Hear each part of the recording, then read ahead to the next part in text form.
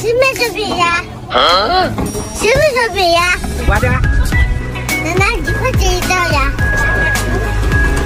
隔壁家说卖八块，那那八块卖给我行不行，奶奶？见着爸爸，我准备挑，行吧？我没有钱，行吧？我拉着拉着拿饭条，行吧？那个不行。那个干你很多钱，很多人，很多钱，干嘛吧？那还是好东西儿。还有这种好事儿。和你开玩笑的孩子，快回来买烧饼啊！哎呦我的妈